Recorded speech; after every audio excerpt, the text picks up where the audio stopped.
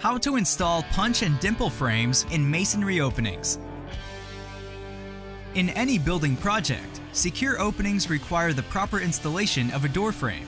In this video, we'll demonstrate how to install punch and dimple frames in masonry openings. Select the appropriate materials and tools for the project.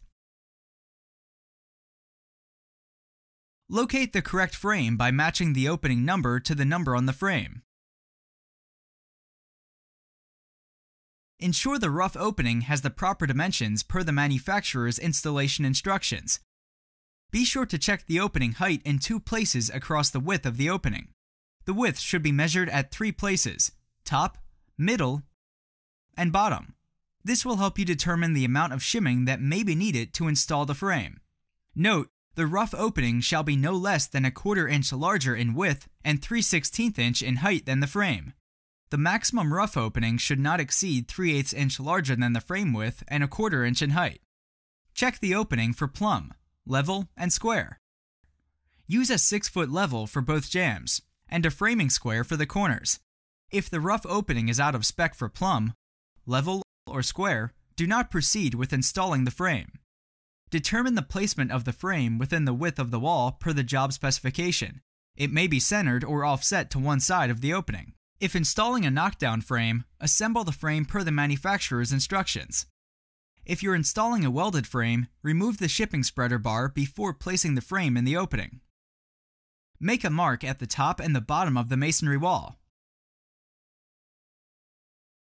Snap a chalk line between the two marks. Set the frame into the opening using the chalk line on the wall to locate it.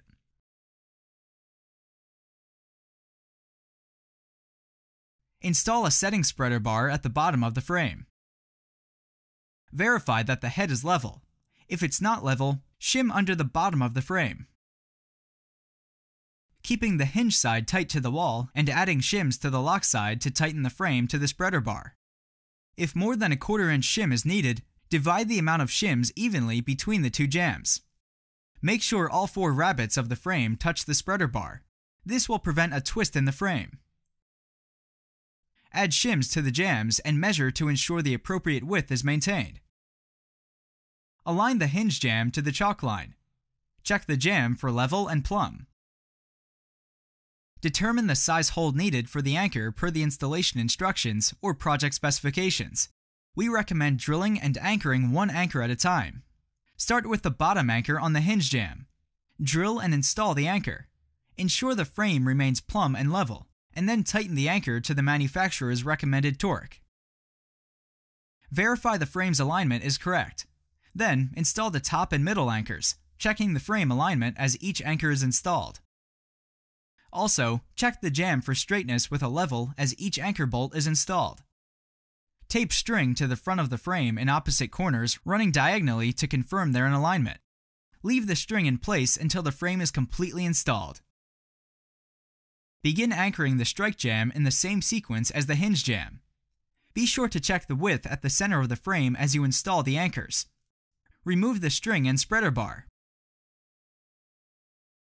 Fill any gaps between the frame and wall with caulk or a backer rod. Your frame installation is complete and is now ready for the next phase of construction.